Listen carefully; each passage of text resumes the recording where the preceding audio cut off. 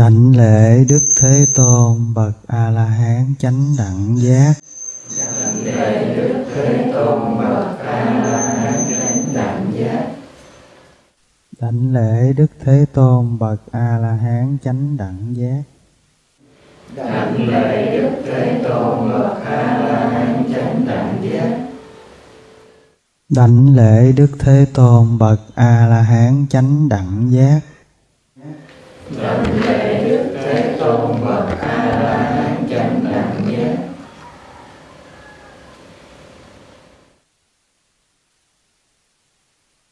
Chúng ta sẽ học tiếp bài kinh Thánh Cầu. Sự tìm cầu của bậc thánh. Dạ, thưa đại chúng, hôm qua chúng ta đã nghe tới đoạn Đức Thế Tôn gặp một cái à, cái người tu ngoại đạo tà mạng Upaka. Sau cái cuộc đối thoại, thì um, cái người này không có tin, không có lòng tin đối với Đức Phật. Khi mà đức phật tuyên bố ta là bậc thắng tất cả, ta là cái người thấy biết hết tất cả. Ta không bị ô nhiễm tất cả và ta đã xả ly buông bỏ hết tất cả ta thật sự là một cái người sống giải thoát, chấm dứt hết hoàn toàn tất cả mọi sự khao khát hàm muốn, ưa thích. Ta là bậc tự giác, tự mình giác ngộ. Không có nương dựa vào ai hết, ta không có đạo sư. Ta không có một cái vị thầy chỉ đường. Và cái người như ta không có trên đời này, giữa chư thiên và nhân loại. Không ai bằng ta hết. Ta là bậc xứng đáng được cúng dường, là vị thầy chỉ đường vô thượng.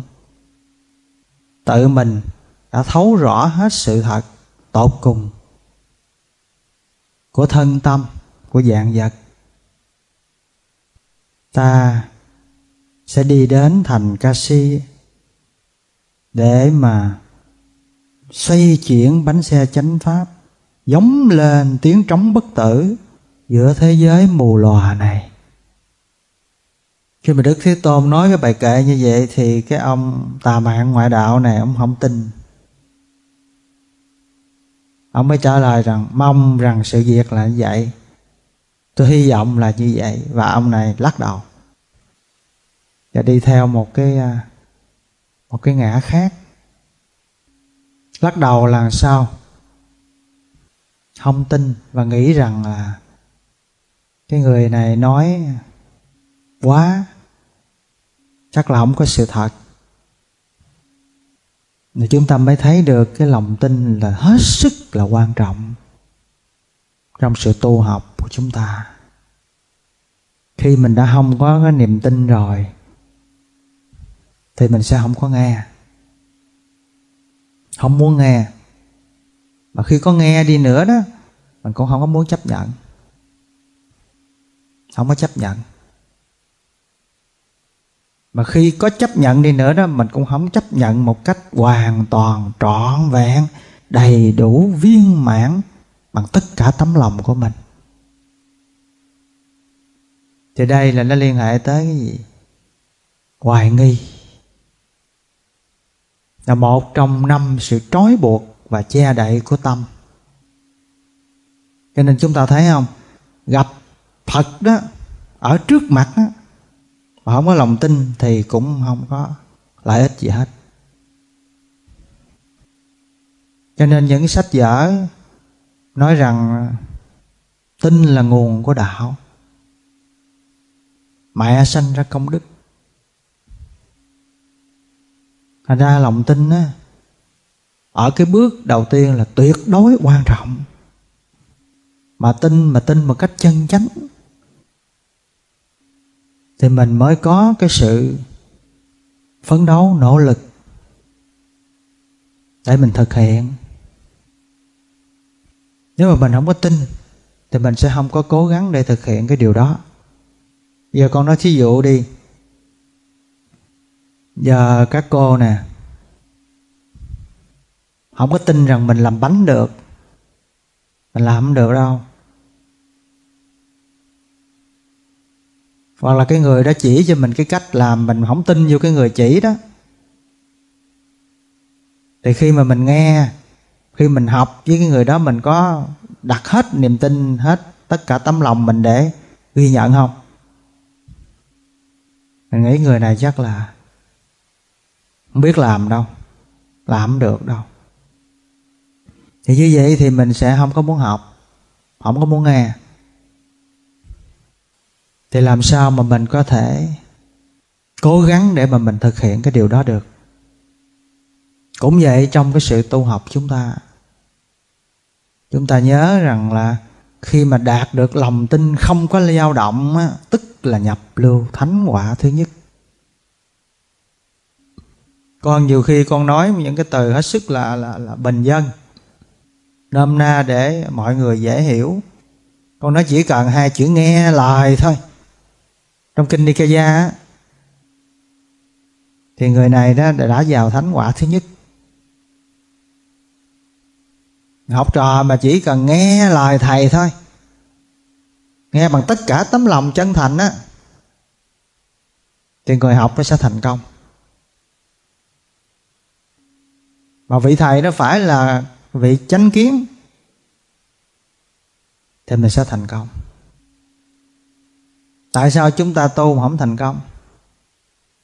Cái bước đầu tiên đó, của cái sự tính đó, mình chưa có thành tựu. Tịnh tính bất động. Tịnh tính là gì? Một lòng tin trong sáng. Không có dao động. Đối với lời dạy của đức phật trong kinh tạng nikaya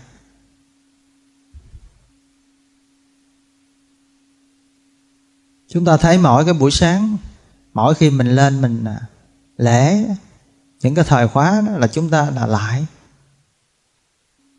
Làm cho mình phát khỏi tịnh tính bất động. Và những cái buổi chúng ta nghe pháp như vậy cũng chính là những cái buổi mà tưới tẩm, chăm sóc, làm cho tăng trưởng, phát triển, quảng đại, kiên cố, vững trú, vững chắc đến chỗ lòng tin bất động, đối với phật, đối với pháp. Cho nên chúng ta mới thấy rằng là cái à, người tà mạng ngoại đạo Obaka này không có lòng tin thì mất một cái à, cái cơ hội vĩ đại, siêu vĩ đại. Gặp được Đức Thế Tôn mà để à, mất cái cơ hội cũng vậy á chúng ta gặp được chánh pháp mà chúng ta không có một cái lòng tin xác quyết thì chúng ta cũng sẽ ruột mất cái cơ hội được thể nhập cái trí tuệ chân chánh. Tại vì lòng tin đó nó thúc đẩy mình đó, ra một cái sức mạnh khi mà một người đã có niềm tin rồi đó, thì người đó sẽ có thêm được một cái sức mạnh ở nơi cái niềm tin đó. Người này nỗ lực. Và cái sự nỗ lực tinh tấn đó là luôn luôn nghĩ nhớ về cái pháp mình thực hành. Đặt hết tâm tư mình vào đó, chuyên tâm nhất ý vào đó. Thì lúc đó cái sự thấy biết của mình nó sẽ sáng tỏ. Đó là tính tấn niệm định tuệ.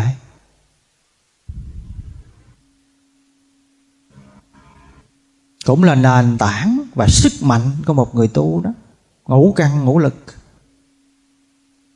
Năm cái pháp đó, mình tu nó viên mãn đó thì thành tựu thánh quả a la hán chúng ta thấy bây giờ mình đối chiếu lại những cái lời đức phật dạy trong kinh nikaya đó. Mình thực hành được bao nhiêu? Là tại sao mình không thực hành được? Lòng tin mình chưa có vững chắc bây giờ con họ hỏi ờ, đại chúng cách đơn giản thôi. Bây giờ đại chúng biết rằng phía sau giảng đường mình đó, có chôn một hũ vàng năm ngàn cây. Nếu mình tin chắc là đó có. Rồi mình làm sao? Mình có ngồi yên đó không? Tự động à. Tự động là mình sẽ có một cái động lực sức mạnh để cho mình đi tới đó đào bới lên. Đó là tấn lực đó. Và khi mà mình đào bới lên như vậy đó, là mình nó luôn luôn làm nhớ, chuyên chú cái tâm mà mình nhớ vô cái chuyện đó, mình chỉ tập trung vô làm để đào xuống nặng nặng nặng nặng lấy lên mà. Chú tâm vào trong đó và cuối cùng là mình á, đi đến cái sự mà đào được thành công. Thì cũng vậy nếu mình biết cái giá trị của cái thánh pháp mà nó còn gấp một tỷ lần cái hữu dạng đó vô lượng lần thì mình có nỗ lực ghi nhớ không bao giờ quên tập trung tất cả tâm ý quán chiếu quán xét trong cái đạo lý đó để mình tu. Mà khi mình nghe rồi xong rồi mình cũng ờ, nghe rồi cũng giống như không nghe vậy đó. Trở ra rồi là nó mất hết trơn quên không còn nhớ gì hết. Tức là lòng tin chưa đủ, tấn lực chưa có, niệm lực chưa thành. Định lực, tuệ lực không có đầy đủ. Cho nên đó là cái ngũ căn ngũ lực là hết sức là quan trọng trong sự tu. Chúng ta từ khi mới tu cho đến khi thành tựu đó. Hàng ngày mình phải coi coi coi. Coi năm cái pháp này đó mình đã có được bao nhiêu. Mình có nuôi dưỡng mình có chăm sóc mình có tưới tẩm mình có làm cho nó tăng trưởng phát triển quảng đại trong tâm mình không? Hàng ngày cái niềm tin của mình đối với phật đối với pháp. Khi mình nghe tụng cái bộ, lời kinh Nikaya buổi sáng đó khi mình á, ngồi ở trên pháp đường á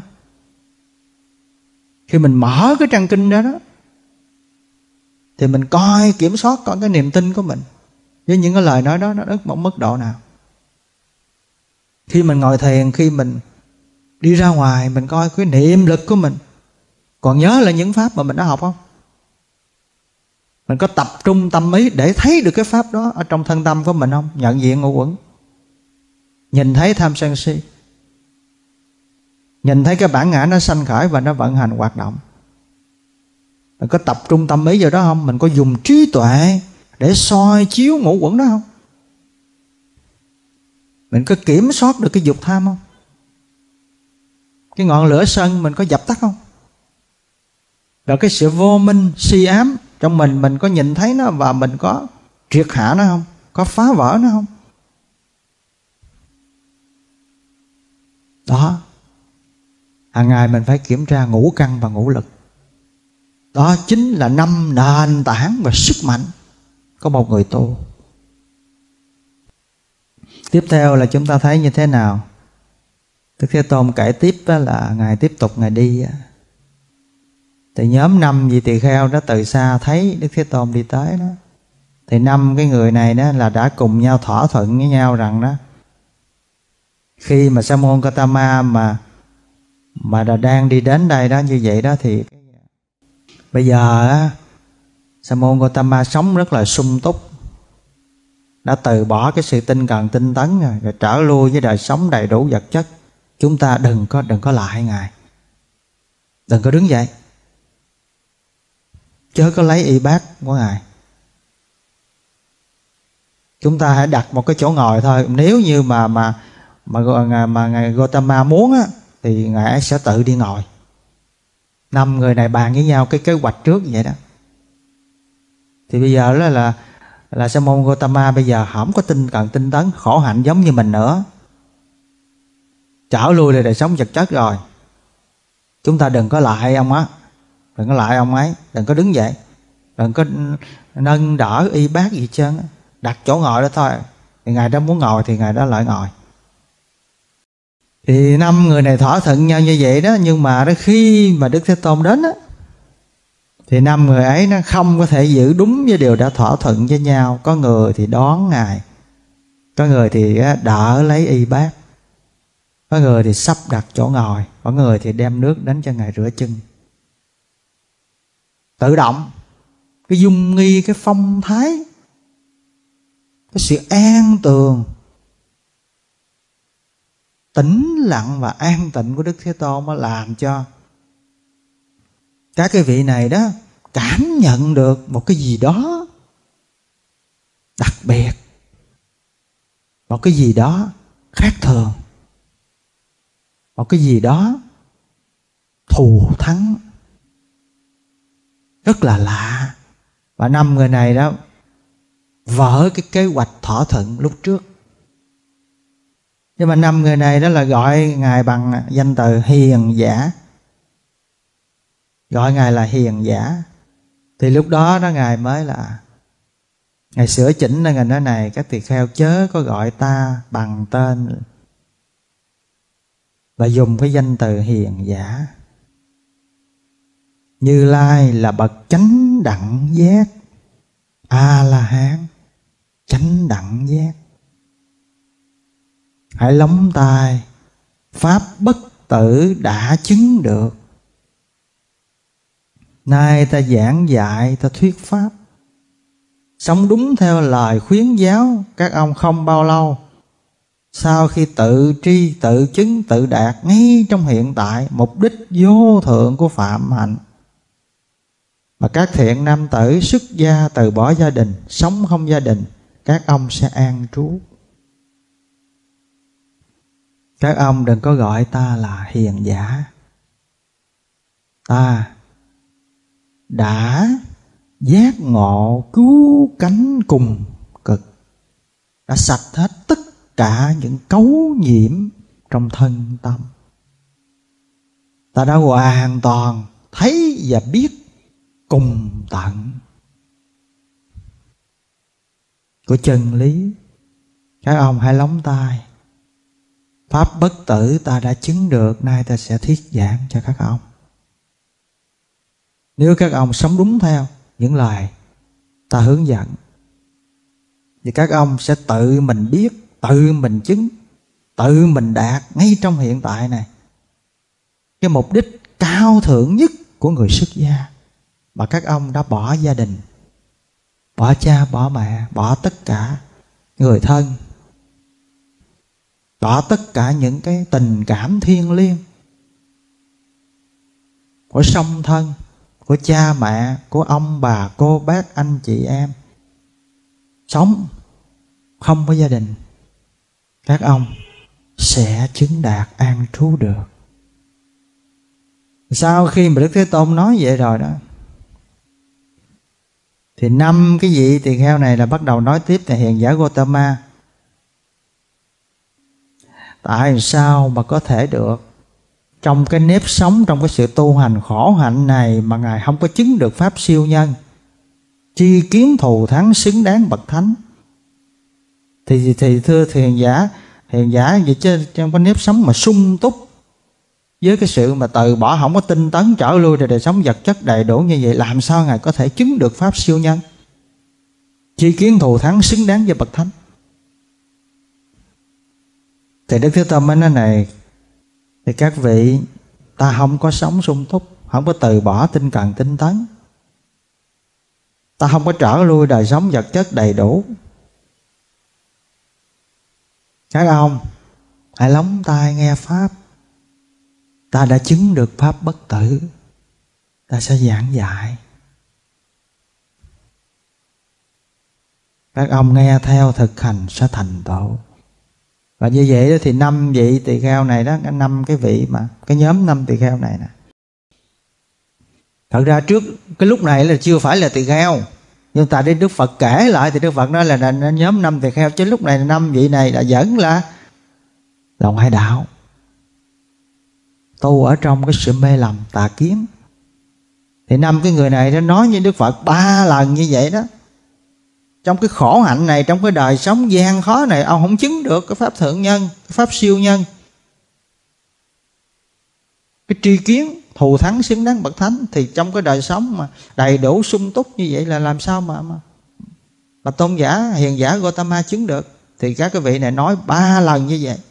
Thì Đức Phật đều lặp lại ba lần. Thì cho đến cái câu cuối cùng là Đức Phật nói làm sao này các vị, từ trước đến nay các ông có chấp nhận là ta chưa bao giờ nói như vậy chăng? Tức là trước giờ ta có nói lừa dối các ông bao giờ không? Đây là tới lần thứ tư á. Thì các vị này mới thưa là chưa bao giờ. Hồi đó giờ thái tử tới đăng đa là nói sự thật. Thái tử không có lừa dối. Thì lúc đó đức phật mình lặp lại một lần nữa. Các ông hãy lắng nghe pháp bất tử đã được ta chứng ngộ. Ta sẽ giảng dạy thuyết pháp. Thì sau đó như vậy đó sau ba bốn lần như vậy đó thì năm cái người này đó mới chấp nhận. Thì á, ngài kể lại cho chúng ta thấy rằng là ngài thuyết giảng cho hai tỳ kheo thì ba tỳ kheo kia đi khất thực. Thì ba cái vị tỳ kheo này khất thực cái đồ ăn á của ba tỳ kheo này mang về thì chia ra nuôi sống cho cái nhóm tổng cộng là sáu người. Đức phật với năm vị này nữa. Thì ngài thuyết giảng cho ba tỳ kheo á, thì hai tỳ kheo kia đi khất thực. Thì cái đồ ăn mà của hai cái vị tỳ kheo mà đi khất thực cái đem về mới nuôi cho sáu người. Thì chúng ta nhớ rằng á, mình nghe ở đây mình mới biết rồi á. Để Đức Phật nói cái gì? Đây là để chúng ta mới thấy rồi nhiều khi chúng ta xem trên hình, đọc trong sử rồi mình tưởng tượng ra. Tại các tỳ kheo, chúng năm tỳ kheo, sau khi được ta thuyết giảng, sau khi được ta khuyến giáo. Thuyết giảng cái gì? Khuyến giáo cái gì? Bây giờ mình mới nghe được là ngài giảng cái gì cho năm vị này nè. Tự mình bị sanh, sau khi biết được sự nguy hại của cái bị sanh, ta tìm cầu cái không sanh vô thượng an ổn, khỏi các khổ ách, chứng niết bàn. Thì ngài thuyết, y như cái nãy giờ ngài đã suy tư đó. Ngài đã đi tìm cầu đó. Bây giờ ngài chứng đạt được rồi, ngài kể, ngài nói lại cái pháp mà ngài đã chứng. Tự mình bị già, ta đi tìm cái không già. Tự mình bị bệnh, ta đi tìm cái không bệnh tự mình bị chết, ta đi tìm cái không chết. Tự mình bị sầu, ta đi tìm cái không sầu. Tự mình bị ô nhiễm.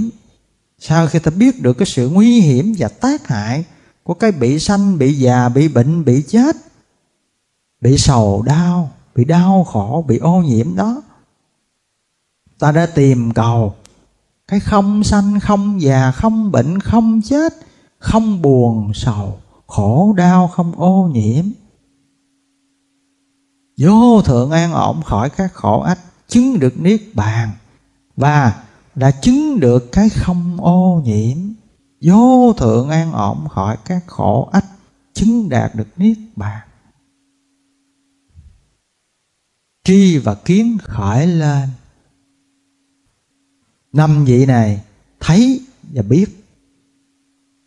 Sự thấy và biết, tức là chánh chi kiến. Thì thấy biết chân chánh khởi lên thì chúng ta mới thấy được cái điều gì?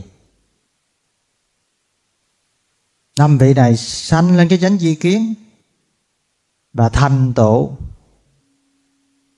Thành tựu cái gì?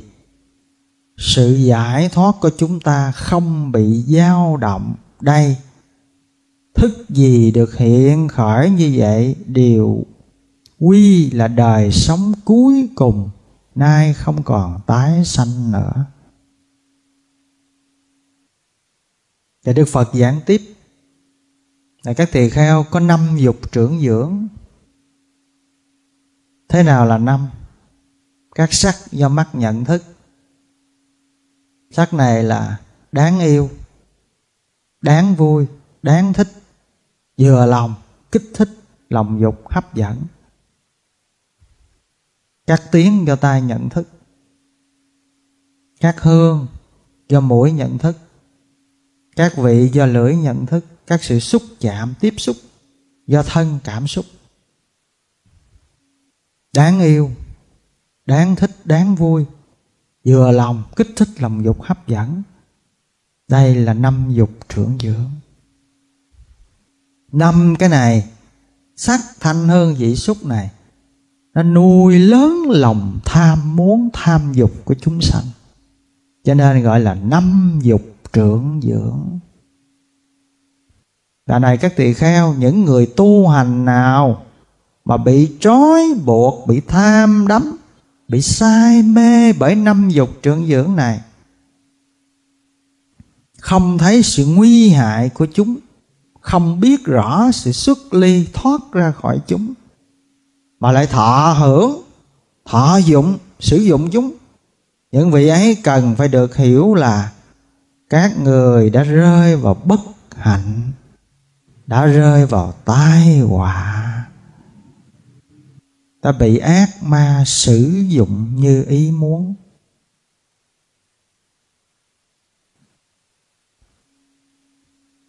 Này các tỳ kheo, như là con nai sống ở trong rừng bị sập bẫy nằm xuống.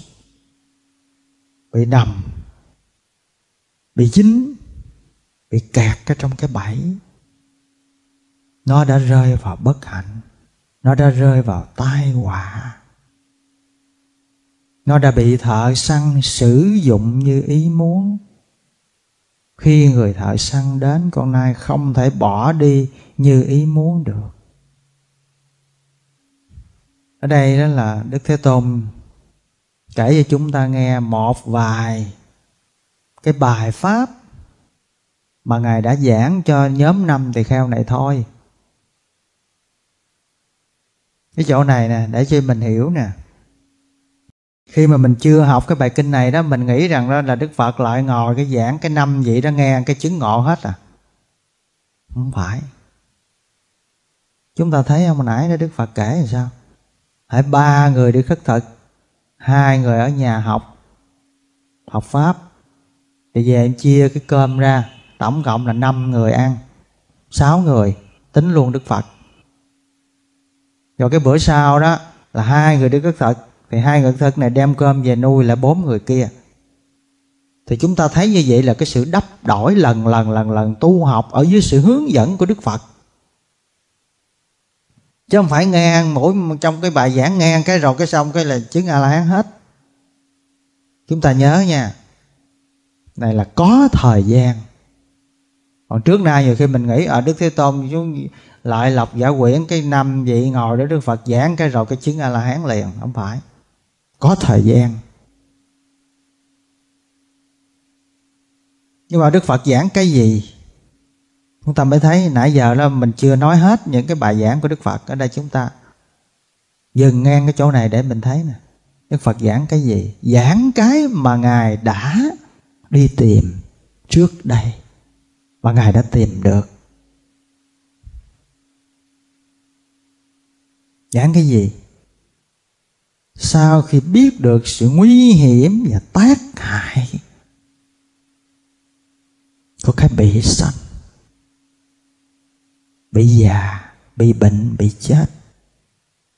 Sau khi biết được sự nguy hiểm và tác hại của cái bị sầu, khổ, buồn, đau. Sau khi biết được sự nguy hiểm và tác hại của cái sự ô nhiễm trong tâm. Ô nhiễm bởi cái gì? Dục nhiễm, hữu nhiễm và vô minh nhiễm đó là nguy hiểm. Cái tâm chúng ta là một cái tâm cấu nhiễm. Một cái tâm cấu nhiễm. Cái tâm chúng ta là còn hơn là những cái sự cấu nhiễm ở trong những cái đường ống cống. Có những cái nhà máy xí nghiệp thải ra những cái chất, những cái chất chất nhiễm, chất độc. Tâm chúng ta là một tâm cấu nhiễm. Tâm ô uế. Tâm bẩn thỉu. Tâm xú uế. Cái tâm nhơ nhơ nhớp, nhơ bẩn. Cho nên mình lại gần là nó bốc cái mùi lên. Chúng ta có thấy bốc mùi không ạ? À? con thưa đại chúng chúng ta có thấy tâm mình nó bốc mùi không? Dạ con mời đại chúng nha, trình bày coi nó bốc mùi ra làm sao à nó bốc mùi sao con thưa đại chúng? Có thấy nó bốc mùi không? Chị như ý nói coi bốc mùi như thế nào? Có thấy cái tâm mình nó bốc mùi không? Dạ nam mô bổn sư thích ca mâu ni phật con kính bạch trên sư phụ, kính bạch trên quý thầy, kính bạch trên quý sư cô, kính bạch trên quý vị phật tử thưa sư phụ là hiện tại con đang khởi lên cái cảm thọ rất là xấu hổ ạ à. vì khi mà con nhìn nhận lại tự thân của mình thì thấy tâm mình rất là dơ bẩn thì chắc chứa đầy những cái pháp bất thiện bản ngã, sân hận, ích kỷ, hẹp hòi, nhỏ nhen. Ừ, dính mắt khi mà đụng vào cái gì thì nó cũng khởi lên cái bản ngã. Đụng vào cái gì khi mà nhìn, khi mà nhìn ra bên ngoài, hỏi cái gì là nó sân hận. Ừ, xúc một cái là nó khởi lên cái tham riêng một ngày đó nó đầy rẫy là những cái những cái pháp bất thiện, tham sân si, bản ngã ở trong đó à. Chúng ta thấy không? Lại gần với nhau mình thấy bốc mùi không? Ở có hai, ba người thôi. Sân giận, thị phi hơn thua. Cao thấp. Đúng sai. Phải quấy. Tật đố. Ganh tị. Đố kỵ.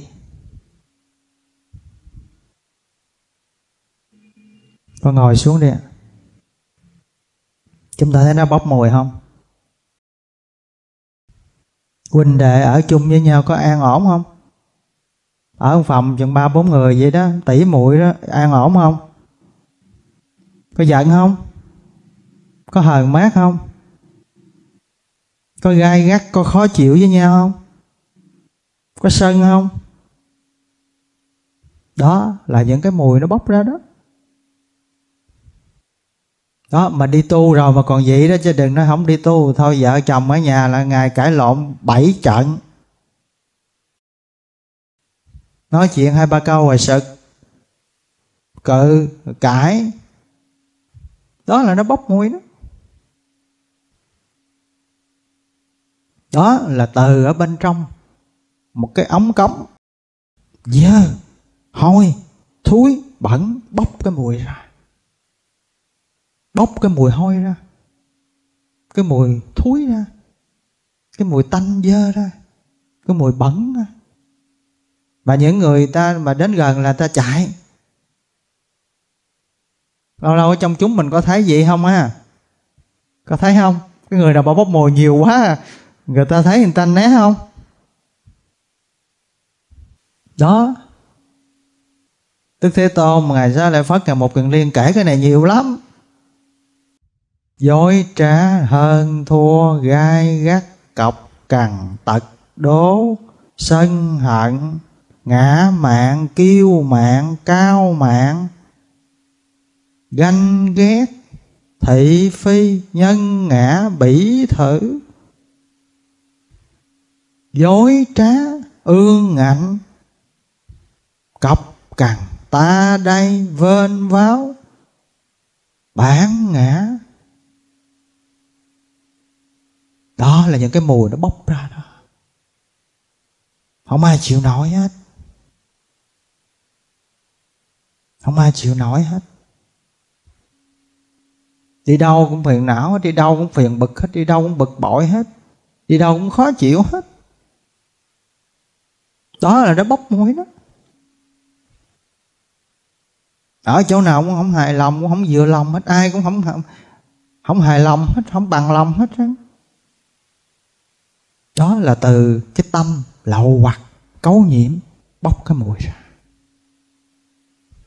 Rồi muốn cái này, tham cái kia, thích cái nọ, đòi cái khác.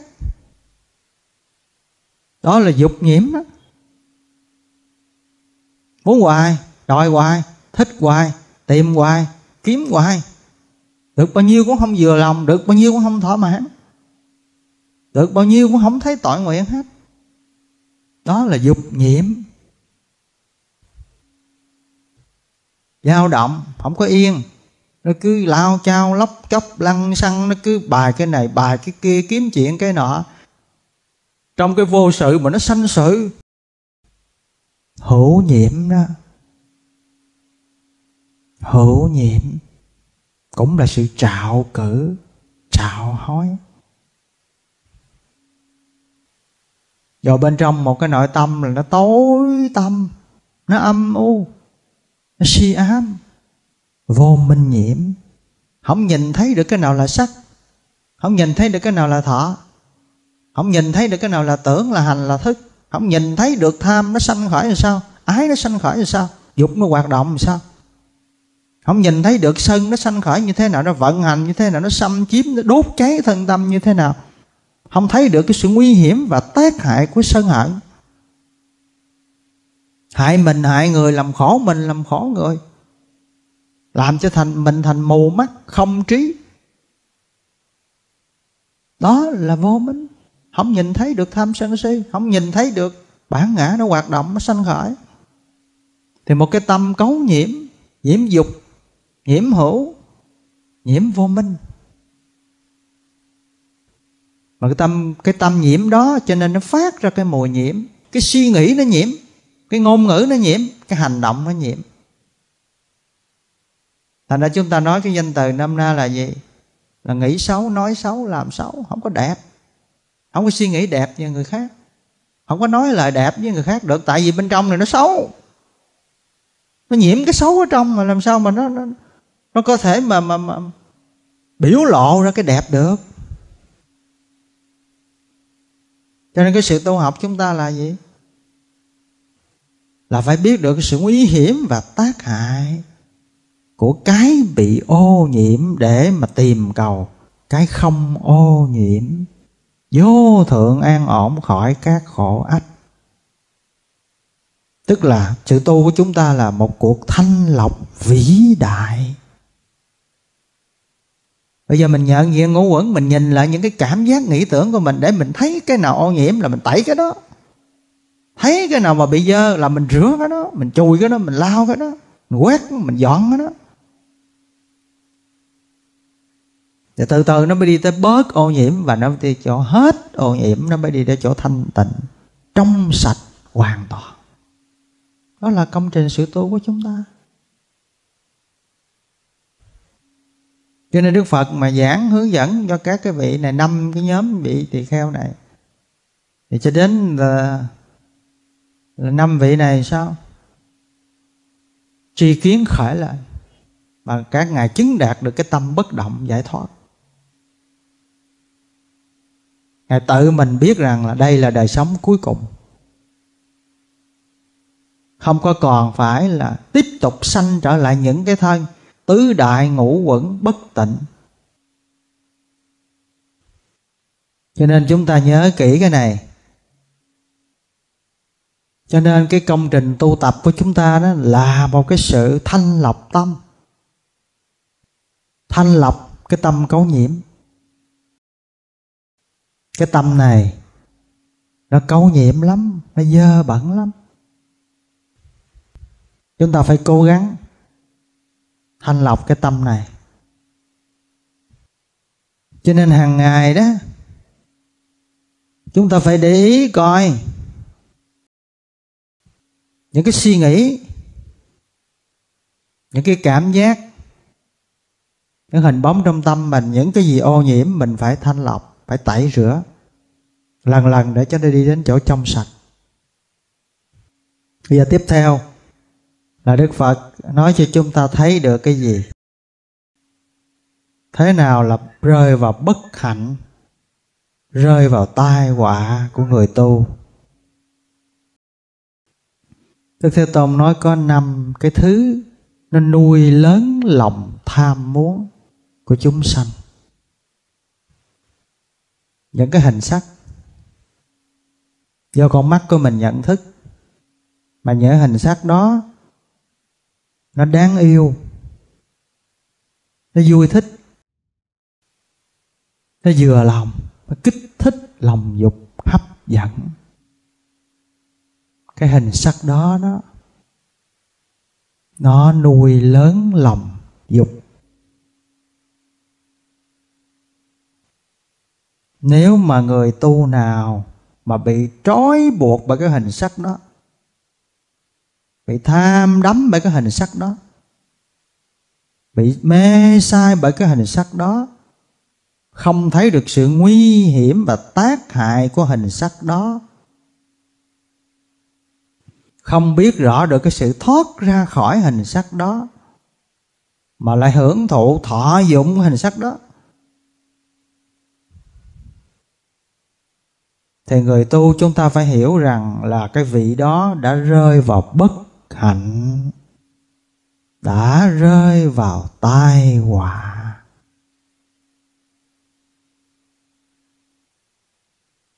Chúng ta thấy cái chỗ này nó rất là sâu sắc nha.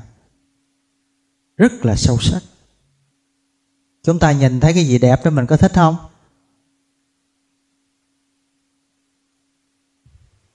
Có không ạ? À? có thích không? Mình thấy cái bông cái bông sen nó nở, nó nó tươi thắm, nó đẹp, nó nở tròn trịa vậy đó. Sắc hương nó vậy đó. Mình thấy mình có thích không? Như vậy là mình bị rơi vào bất hạnh, đã rơi vào tai họa. Giờ nói rộng chút nữa. Có một cái chiếc xe. Chiếc xe đẹp ai đó người ta cúng dường cho mình đi học. Khi mình được nhận cái chiếc xe đó, mình thấy là khả ái, khả hỷ, khả lạc, khả ý, kích thích, lòng dục, hấp dẫn. Chiếc xe này là đáng yêu, là đáng thích, là đáng vui, là đáng mừng. Chiếc xe này là tốt quá, là đẹp quá, là hấp dẫn quá. Thì như vậy mình đã rơi vào bất hạnh đã rơi vào tai họa, đã bị ác ma sử dụng như ý muốn.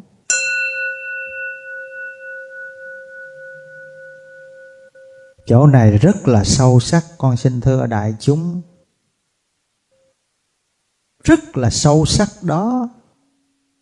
Mà bây giờ chúng ta nhìn coi cái người tu mình rơi vào bất hạnh, rơi vào tai họa nhiều không?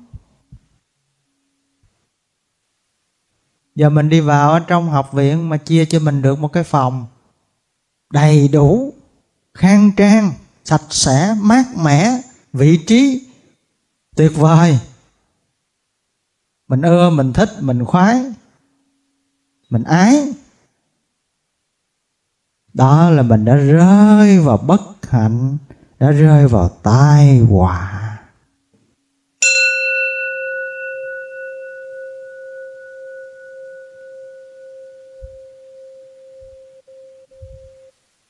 Chỗ này là chỗ hết sức là sâu sắc của người chân tu. Và thực hành đúng như Đức Phật dạy thì mình mới thấy được một cái sự giải thoát nó là thật sự. Rồi, bây giờ mình nhìn thấy cái ngôi chùa của sư phụ mình, hoặc là sư tỷ, sư huynh gì của mình đó, hoặc là ngôi chùa của mình.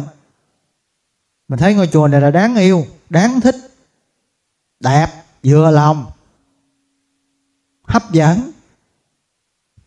Mình luyến ái, mình ham, mình thích. Đó là mình đã rơi vào bất hạnh, đã rơi vào tai họa. Mình giống như con nai đã bị sập bẫy rồi.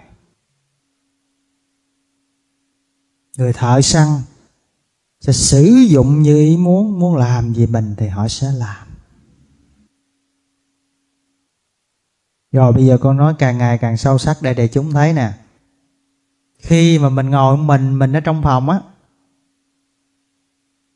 mình nhìn thấy cái bàn tay của mình. Mình nhìn thấy cái đôi chân của mình. Hay là mình soi cái gương, mình thấy cái gương mặt của mình, cái con mắt, cái mũi của mình, cái miệng của mình. Mình thấy đây là đáng yêu, đáng thích coi đẹp vừa lòng. Mình yêu cái thân này, mình thích cái thân này, mình ái cái thân này, mình dính mắt với cái thân này, mình cho đây là tôi, là của tôi. Như vậy là mình đã rơi vào bất hạnh, đã rơi vào tai họa. Mình đã bị sập bẫy ở trong cái thân xác da thịt gân xương máu mủ này rồi.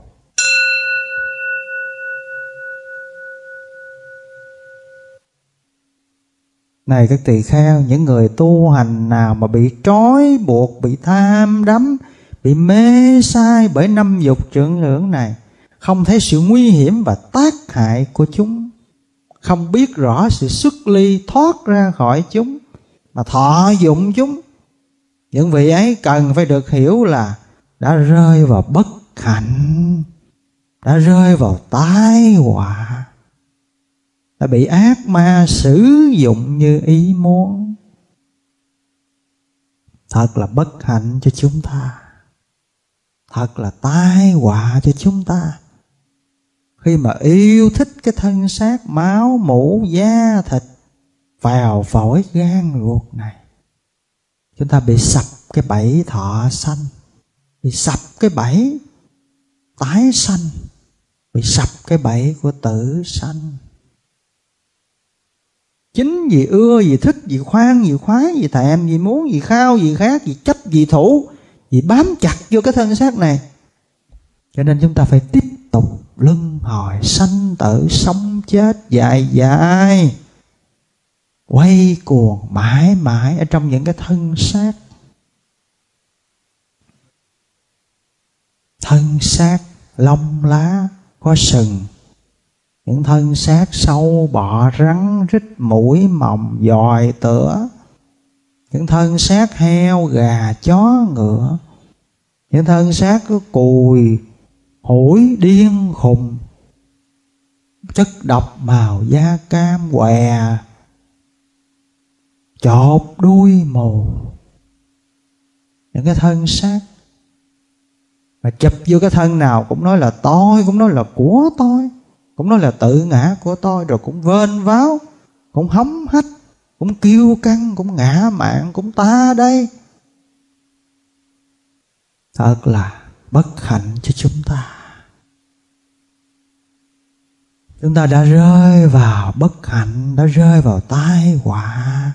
Chúng ta đã sập bẫy. Sập cái bẫy của năm dục trưởng dưỡng này chúng ta đã bị sập cái bẫy đó.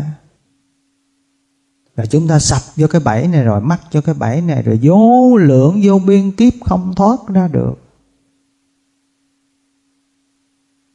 Lúc nào cũng con mắt này là tôi, cái lỗ mũi này là tôi, cái miệng này là tôi, cái gương mặt này là tôi. Cái thể dốc, cái hình hài, cái thân xác này là tôi, là của tôi. Và sao? Chúng ta suy nghĩ, lo lắng, buồn rầu, sợ hãi, khổ đau. Suốt ngày, suốt đêm không đi ra khỏi cái bẫy này mắc cái bẫy này, cái bẫy da thịt này, cái bẫy gân xương này, cái bẫy của sắc quẩn, sắc pháp này, sắc chất này. Chúng ta thấy không? Chúng ta bị sập bẫy. Chúng ta không thấy được sự nguy hiểm và tác hại của những cái sắc pháp khả ái này. Đáng yêu, đáng vui, đáng mừng, đáng thích này. Kích thích lòng dục hấp dẫn này, nó là nguy hiểm. Nó là hiểm nguy.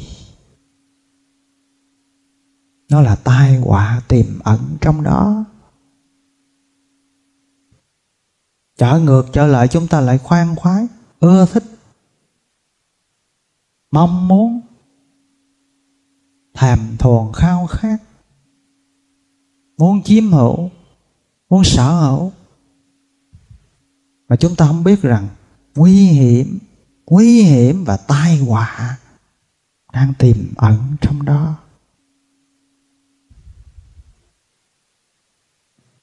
Bất cứ một sắc nào, quá khứ, hiện tại, vị lai.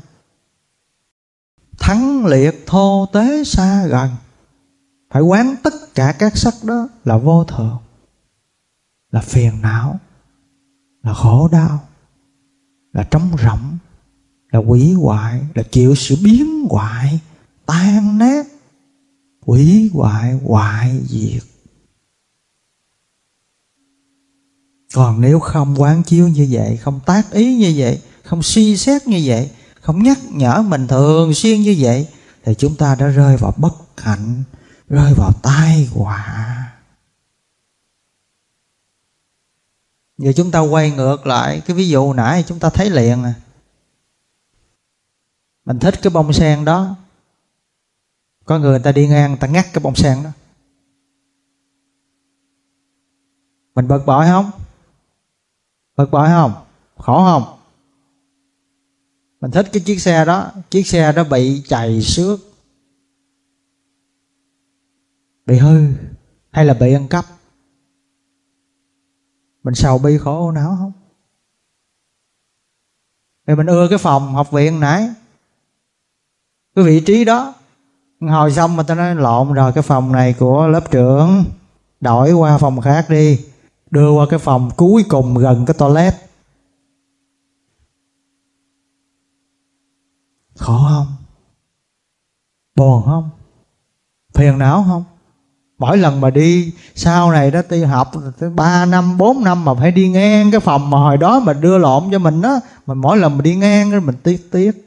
Mình ái ái. Đúng ra cái chỗ này chỗ của tôi nè. Thấy chưa? Thấy không? Chúng ta thấy rõ không? Bất hạnh tai họa. Đó là các sắc do mắt nhận thức. Khả ái, khả hỷ, khả lạc, khả ý, kích thích lòng dục hấp dẫn. Nếu mà người nào bị trói buộc, bị tham đắm, bị mê say bởi những sắc đó mà không thấy sự nguy hiểm và tác hại của nó, không biết rõ sự thoát ra khỏi nó hưởng thụ nó. Nhưng vậy ấy cần phải được hiểu là rơi vào bất hạnh, rơi vào tai họa.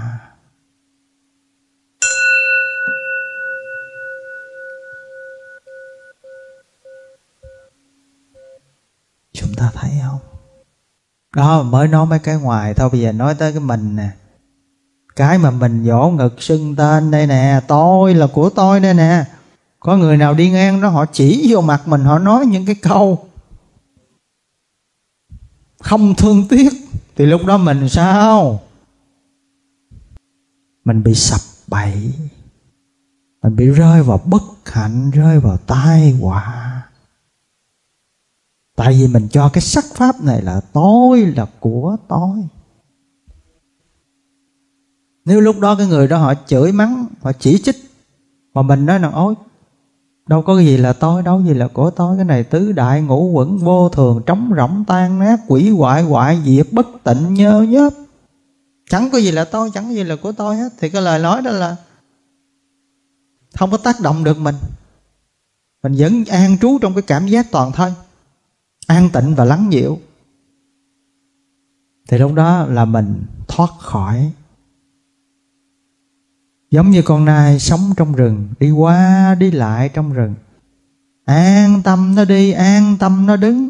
An tâm nó ngồi, An tâm nó nằm. Tại sao vậy? Này các tỳ kheo, Vì nó vượt khỏi tầm tay Của người thợ săn.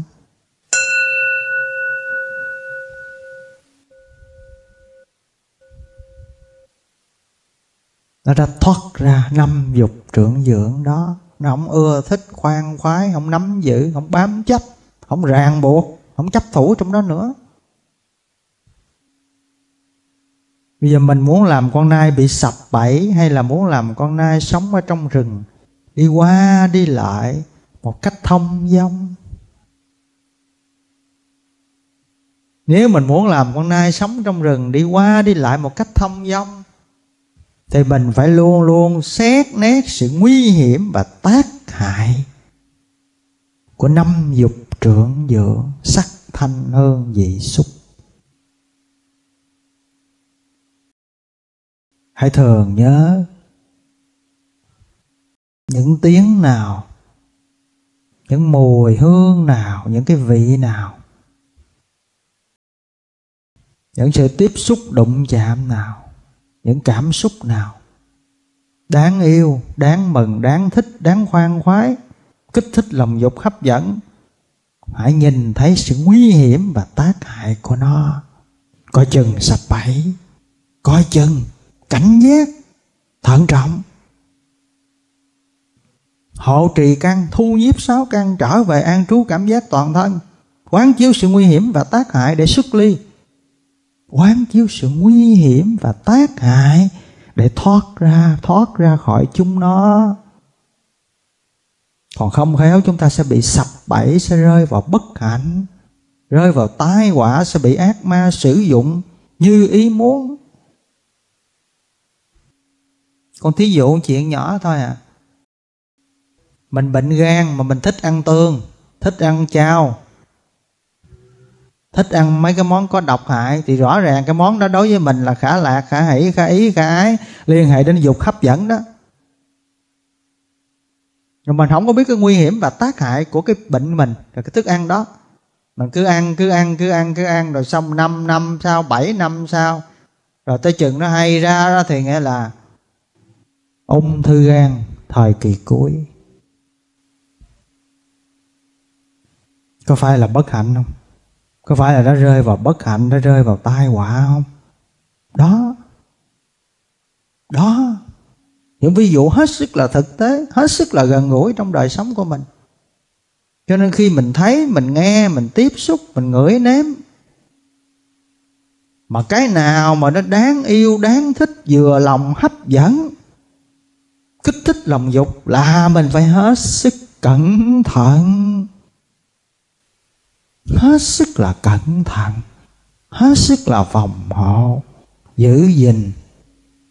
Và phải quán sát sâu sắc cái sự nguy hiểm và tác hại của nó.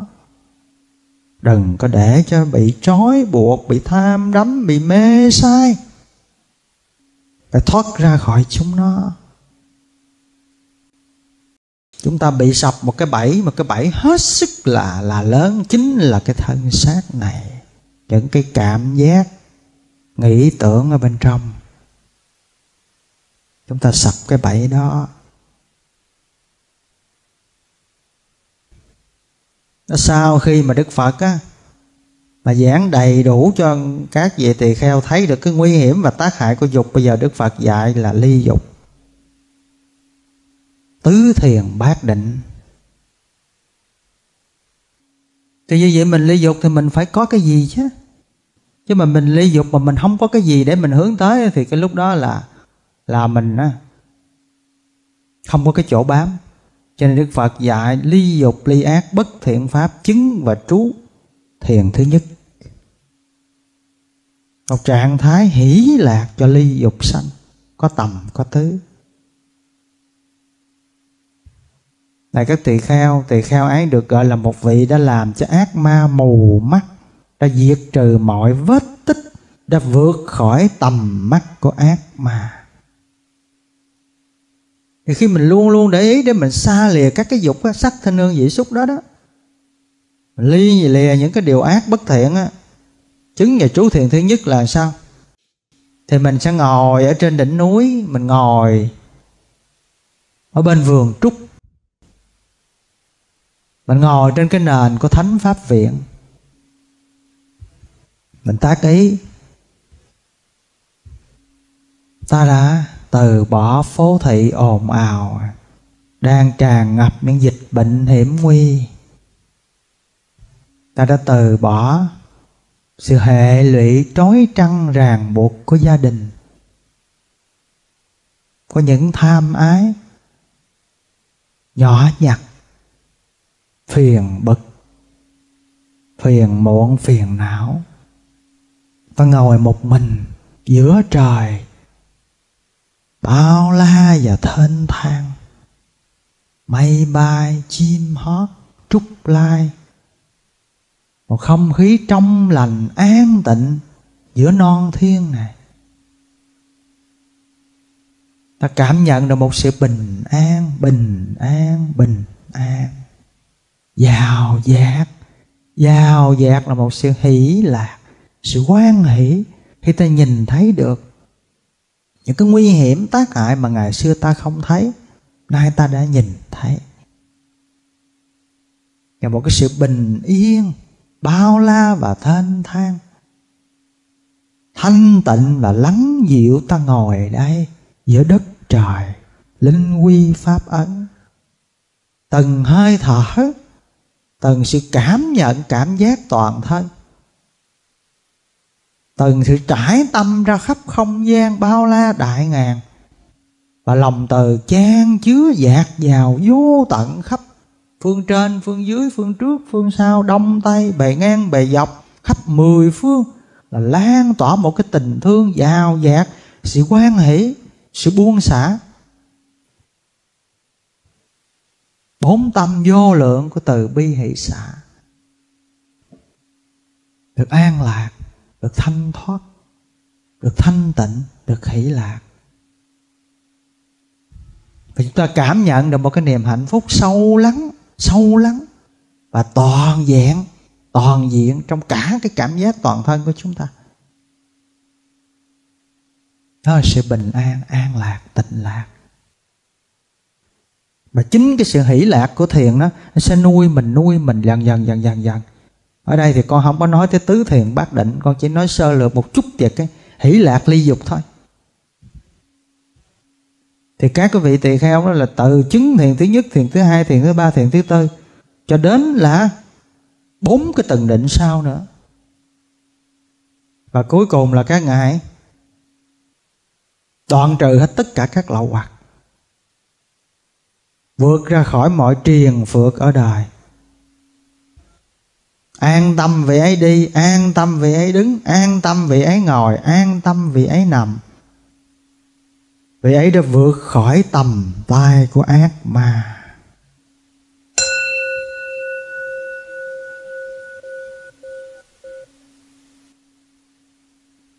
Và năm vị tỳ kheo này nghe đức phật giảng pháp và sự tu tập hướng dẫn của đức phật sự hướng dẫn, khéo léo thiện xảo, tuyệt diệu của đức phật.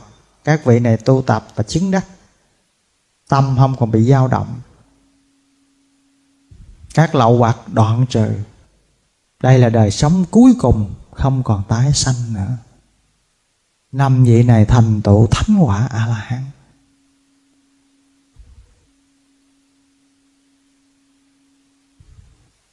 Và con thưa đại chúng, hôm nay là chúng ta đã xong cái bài kinh thánh cầu, sự tìm cầu của bậc thánh.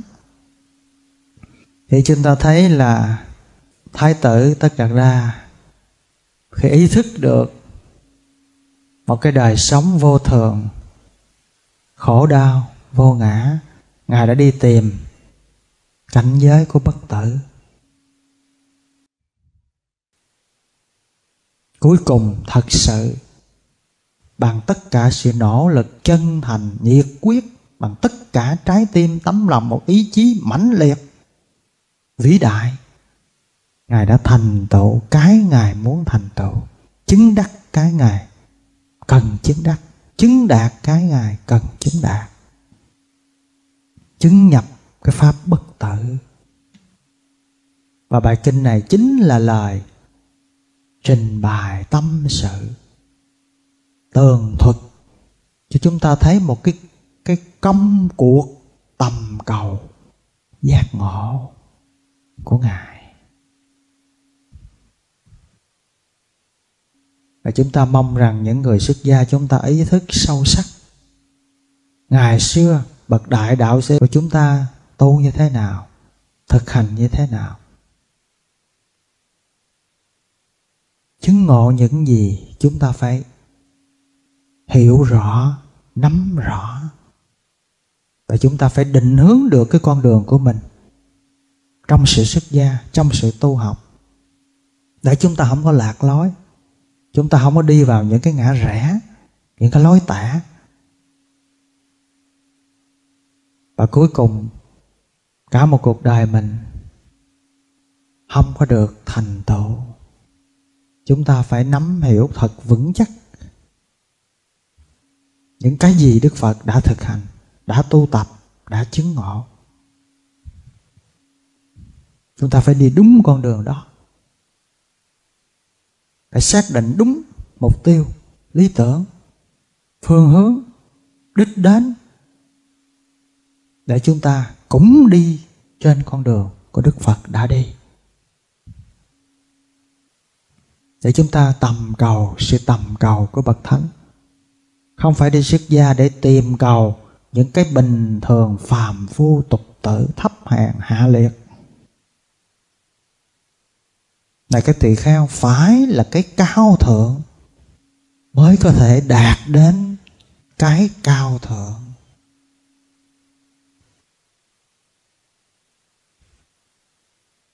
Mong rằng tất cả người xuất gia chúng ta, tất cả những vị tập sự xuất gia, ý thức thật sâu sắc mỗi ngày, mỗi giờ phải nhắc nhở chính mình, nhắc nhở tự thân, tự tâm của mình. Và ý thức một con đường cao thượng, tối thắng, an tịnh đạo lộ. Và chúng ta cần phải đi, đừng có đi lệch hướng, lạc hướng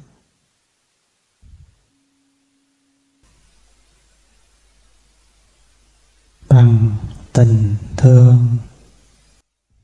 Bằng từ tâm, bằng tấm lòng luôn nghĩ đến sự an lạc, an ổn cho chính mình. Cũng vậy, con chân thành cầu nguyện, sự an lạc, an ổn này cũng đến với chư vị nơi này chư vị nghe hiểu được âm thanh này, cùng hữu tình trong trời đất rộng lớn này, mong tất cả đều được tâm thương này cảm nhận và dễ chịu. An lạc và bình an, tìm được hạnh phúc và an vui cho mình. Lòng yêu thương tự thân mình và yêu thương muôn loài. Mong tất cả có được trí tuệ, thấy được sự vô thường của đời sống này.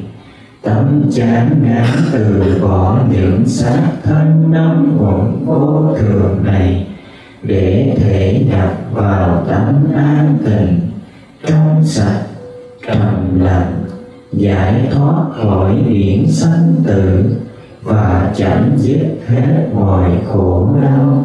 Lòng tha thiết chân thành cầu nguyện, sự an lạc, bình an, trí tuệ và giải thoát đến với cùng khắp tất cả.